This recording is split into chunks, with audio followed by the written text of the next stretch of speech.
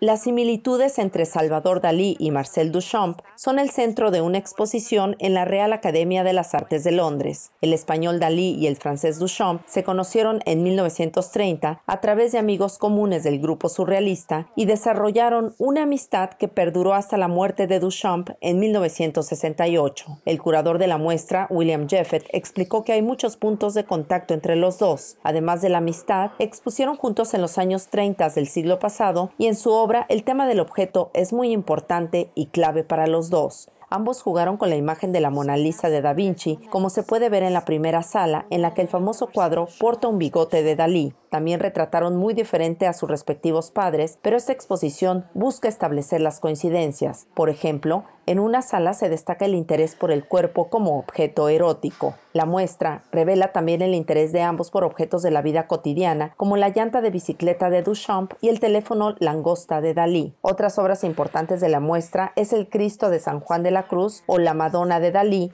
que es una virgen que desde lejos se ve como una oreja gigante. La obra de Duchamp, Gran Vidrio, en la que trabajó durante ocho años, refleja la fascinación del francés por el uso de las distintas técnicas y materiales. La última sala está dedicada a la pasión de ambos, el juego de ajedrez, una afición que compartieron durante décadas. Desde Londres, Inglaterra, Marcela Gutiérrez, corresponsal, Notimex.